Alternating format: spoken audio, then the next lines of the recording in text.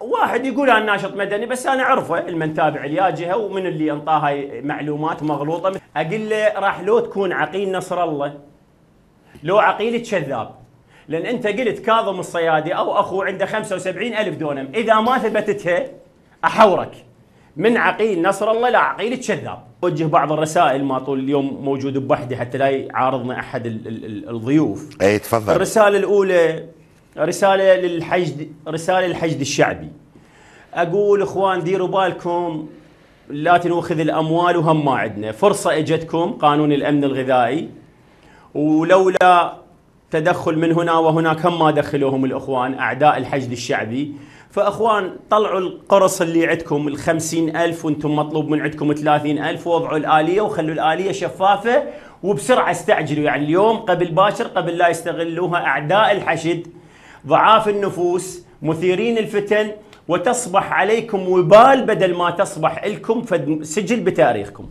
القضية الأخرى قبل لا تروح للقضية الأخرى آه، وضح يعني هاي البنك المركزي اليوم. وضحها هاي الرسالة الأولى أنتم خمسين ألف ومطلوب منكم ثلاثين ألف.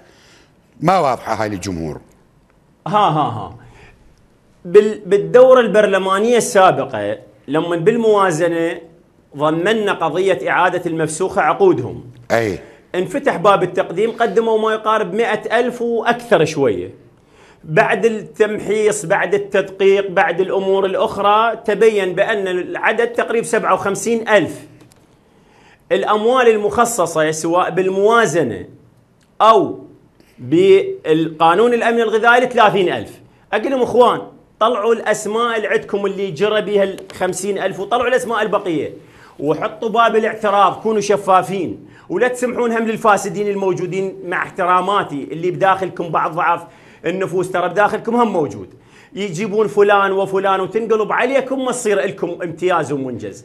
طلعوا كل الخمسين ألف طلعوا الضوابط دخلوها ببرنامج الأكسل ببقية البرامج المتزوج العمر الكذا الأمور الأخرى. والعشرين ألف اللي راح تبقى والسبعة وعشرين ألف بالموازنة إن شاء الله القادمة لأن العراقيون بالدستور متساويين بالحقوق والواجبات. ما طول رجعوا ذولا كون يرجعون ذولاك هم والمفسوخة العقود بالداخلية والدفاع وبقية وحشد الدفاع.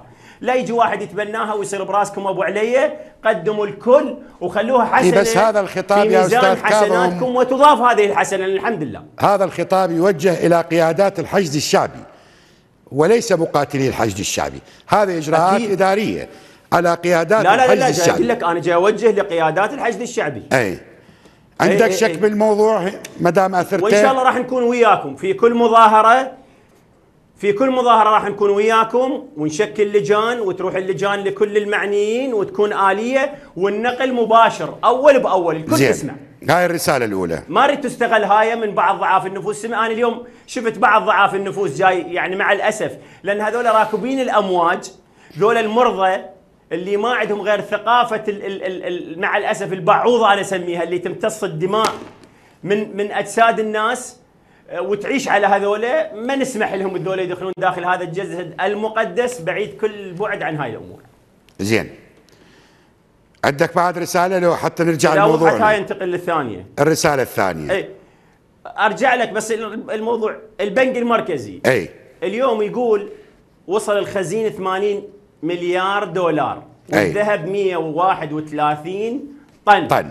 وراح يوصل 90 أنا قلت لكم الذين يكنزون الذهب والفضة أخوان شعب كاتله جوع الجوع تعرفون شنو الجوع؟ أي. أنا 80 مليار دولار 90 مليار دولار غير منتجه وغير شغلة البطالة. والصناعة والزراعة والتجارة شنو أسوي بيها؟ تكنز لي إياهن بالبنك شو أسوي بيه هنا؟